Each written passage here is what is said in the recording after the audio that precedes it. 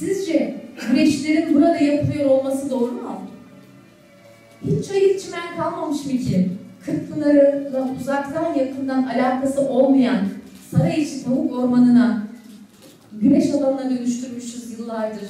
Edirne Çevre Gönüllüleri Derneği ve Trakya Üniversitesi işbirliğinde kültürel ve doğal değerimiz tavuk ormanı paneli gerçekleştirildi. Edirne Barosu Konferans Salonu'nda yapılan panele çeşitli dernek, STK başkanları ve temsilcileri katıldı. Trakya Üniversitesi'nden akademisyenlerin de konuşmacı olarak katıldığı panelin açılış konuşmasını yapan Edirne Çevre Gönüllüleri Derneği Başkanı Ayten Eren, farklı ağaç ve bitkilere ev sahipliği yapan tavuk ormanının orman vasfından uzaklaştığını söyledi. Edirne'deki tavuk ormanının tarihi Kırkpınar yağlı güreşlerinin yapıldığı bir alana dönüştüğünü söyleyen Eren, güreşlerin burada yapılıyor olması doğru mu? Hiç çayır çimen kalmamış mı ki Kırkpınar'la ilgisi olmayan Sarıyiç Tavuk Ormanı'nı güreş alanına dönüştürmüşüz dedi. Kırkpınar'la uzaktan yakından alakası olmayan Sarayişi Tavuk Ormanı'na güneş alanına dönüştürmüşüz yıllardır. Her yıl Kırkpınar şenliklerinde on binlerce insanı bu alana sokarak bu değerli bölgenin kadrini, kıymetini bilmeden kebap dumanları içinde doğasını yağmalamayı sürdürmüşüz. Bu alanlara o kadar bakmamış, o kadar sevmemiş, değerini bilmemişiz ki piknik ateşlerini kırdığımız dallarla tutuşturmuş, davul zurna gürültüsünü kendimize eğlence edinmişiz.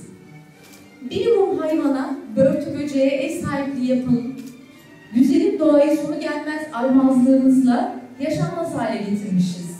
Zengin bitki örtüsüne sahip tavuk ormanının yapılanmaya uygun bir yer olmadığını, buna rağmen ticari işletmeler yapıldığını, bunun içinde çok değerli ağaçların kesildiğini öne süren Eren, gelecek nesillerden ödünç aldığımız eşi benzeri olmayan bu tarihi, doğa ve kültür alanı artık her yönden geri dönülmez kayıplara uğramış durumda. Bugün tavuk ormanı gerçek değerinin teslim edilmesi için bizlerden koruma altına alınmayı bekliyor dedi. Tavuk ormanı zengin bitki örtüsüne sahip bir taşkın bölgesidir. Ve bu nedenle yapılanmaya uygun değildir. Buna rağmen yapılaşmış iki tane ticari işletme ve koca bir güreş stadyumu var bu alanda.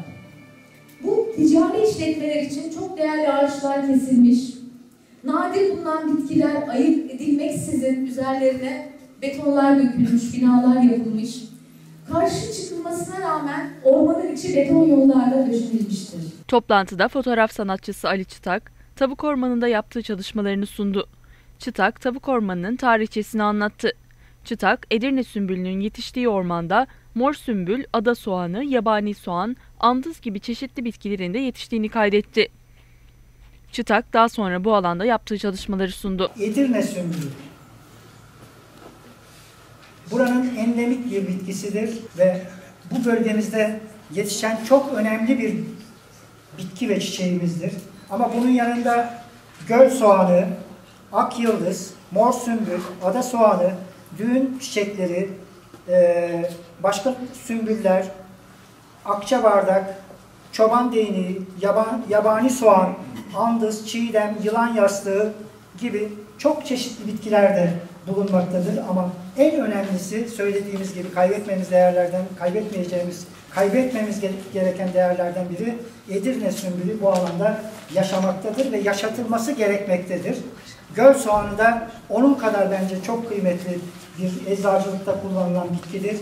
Bunun da burada çok fazla yetiştiğini görüyoruz. İnşallah devamını e, görebiliriz. Bizden sonraki nesil